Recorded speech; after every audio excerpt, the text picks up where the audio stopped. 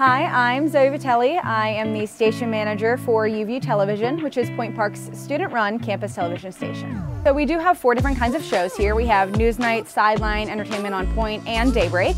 Um, they're all a little bit of something different from sports to entertainment to news to more of a variety morning talk show kind of thing. Um, but students are encouraged to make their own shows, bring their own crews, bring their own ideas, and really refresh um, U-View and the look of U-View. So anything is possible here. Um, we're here to support you and we're here to bring your idea to life. U-View opens a lot of opportunities for students to get hands-on real-world experience with professionals in a professional environment in a professional studio.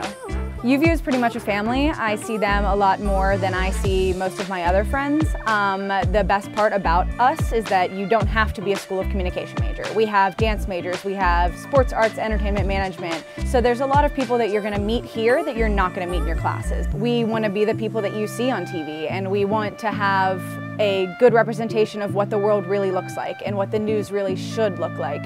UView is for the students, it's for you, it's for you to learn, to watch, to experience, and to grow.